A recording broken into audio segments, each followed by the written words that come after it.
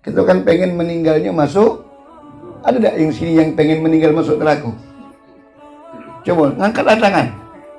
Dia kami daftar ke sama malaikat malik. Pakam nian dia, eh, seburuk-buruk wong, sebejat-bejat wong dak kati yang nak pengen masuk. Nah ini kuncinya nah. Inilah dinjuk oleh Rasul kuncinya. Jadi wajar ketika kita masuk neraka, ditanya oleh malaikat, kau umat siapa? Umat Nabi Muhammad. Bengak kau ni. Lah banyak jalan menuju surga untuk umat Nabi Muhammad. Tapi kamu masih masuk neraka. Ini lihatlah.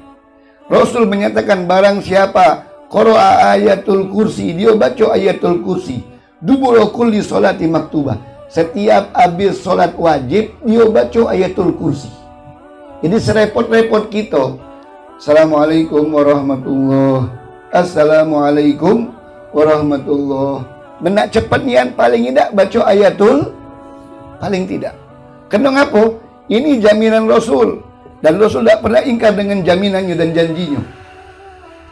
Maka tidak ada yang dapat mencegahnya untuk masuk dalam surga. Kecuali kematian.